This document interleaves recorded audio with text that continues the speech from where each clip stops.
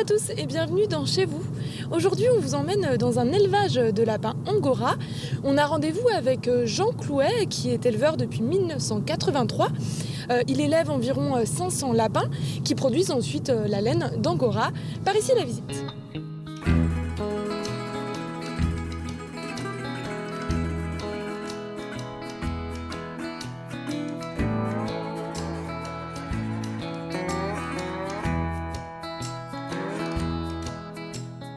Bonjour Jean. Bonjour. Nous sommes dans votre élevage de lapins angora. Ça fait combien de temps que vous faites ce travail? Ça fait maintenant 32 ans. Voilà, déjà, oui. Alors au départ, j'avais commencé qu'avec des lapins albinos, comme tout le monde. Et puis depuis 15 ans, j'ai aussi des nouvelles variétés d'angora de couleur que j'ai réussi à faire homologuer. Comment on fait pour récolter la laine sur, sur les lapins? Alors, la récolte de la laine, il faut savoir que le lapin angora a une mue naturelle tous les 100 jours. Mais depuis 1986, grâce à l'INRA, un procédé a été mis au point, ce procédé tout à fait naturel. Il s'agit euh, d'une plante de la famille mimosée, des mimosées, pardon, qui est utilisée euh, donc 5 jours avant la récolte. On donne uniquement 50 grammes de granulés donc en fait, euh, dans ce granulé, il y a donc cette graine de mimosa, il y a aussi de la luzerne pour que ça soit plus appétant. Ce jour-là, le lapin n'a pas autre chose à manger, et cinq jours après, le poil se décolle facilement. Donc du coup, c'est douloureux pour les lapins ou pas du tout? C'est pas douloureux pour les lapins parce qu'on peut parler de peignage. Autrefois, on pouvait parler d'épilage. Pour vous donner une idée, euh, la récolte traditionnelle de l'angora français demandait trois quarts d'heure. Grâce au procédé Lago-Dindron, il nous faut plus qu'un quart d'heure. Et euh, aujourd'hui, justement, depuis trois ans, euh, un groupe d'éleveurs a travaillé pour mettre en place un guide de bonne pratique et un, guide, et un cahier des charges sur l'élevage de l'angora. Euh, beaucoup d'éleveurs étaient réticents, mais depuis deux mois, on peut dire que 22 éleveurs sur une trentaine qui y a sur l'Hexagone ont signé de cahier des charges. Et sur ce cahier des charges, justement, l'utilisation du lago est obligatoire pour nous parce que euh, aujourd'hui, Dieu sait que c'est important de préserver le bien-être animal et aussi le bien-être de l'éleveur parce que les deux sont associés. S'il n'y a pas de bien-être de l'éleveur, il n'y a pas de bien-être de l'animal et, et vice-versa. On est en symbiose avec nos animaux.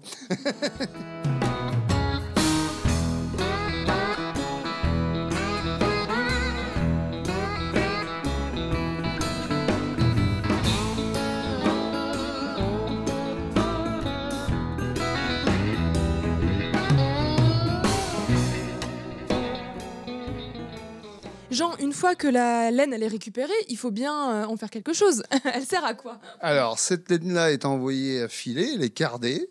On en fait donc un fil. Ce fil, on le reçoit soit sur cône ou soit sur pelote, comme ceci. Voilà. Et là, donc, vous pouvez voir des différentes couleurs naturelles. Vous avez par exemple le nuage, le gris bleuté, le camel avec le lapin roux, le garenne, qui est le, plus facile à obtenir, l'anthracite, donc le lapin noir, mais donc ça donne un poil anthracite.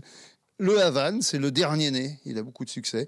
Et puis bon, l'angora blanc qui lui offrait toutes les possibilités de teinture, puisqu'avec un angora blanc, vous pouvez le On teindre. peut le teindre. Voilà. Bon, bah... Où est-ce qu'on les vend ces productions? Est-ce que c'est pas vous qui fabriquez? Vous faites euh, Alors, faire... je fais fabriquer, mais il y a une traçabilité puisque c'est mon propre poil qui est filé. Bon, d'autant plus que dans les couleurs, c'est d'autant plus facile. Je suis le seul à, à, à faire, ça, ouais. à faire ça. Donc euh, voilà. Donc euh, quand je reçois ce fil, après, il y a plusieurs possibilités.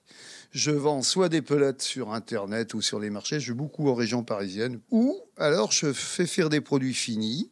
Pour ce qui est du 100% Angora et du 80% Angora, c'est travaillé en Mayenne par une entreprise qui travaille de, du très beau produit haut de gamme, la Cicéane, je peux citer, oui.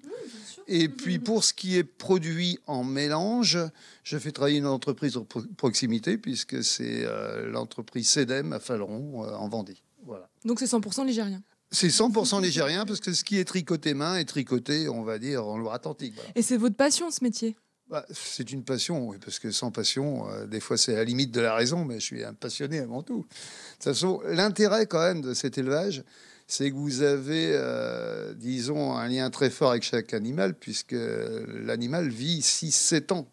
Donc, il euh, n'y a, a, pas un turnover énorme, donc euh, forcément que il y a une relation, on va dire presque charnelle entre l'éleveur et le lapin. Et puis bon, moi, la génétique m'a toujours passionné et, et, on en découvre toujours. Je suis toujours émerveillé quand euh, j'arrive à avoir une couleur plus jolie parce qu'il y a encore du travail à faire. L'idée, c'est d'encore améliorer toutes ces couleurs. Bon, un roux restera roux, mais mon but, c'est de faire un roux plus roux, faire un, un anthracite plus noir. Et voilà. Bon, bah, c'est au fil du temps, on arrivera à faire quelque chose de très bien, je pense. Très bien, merci beaucoup, Jean.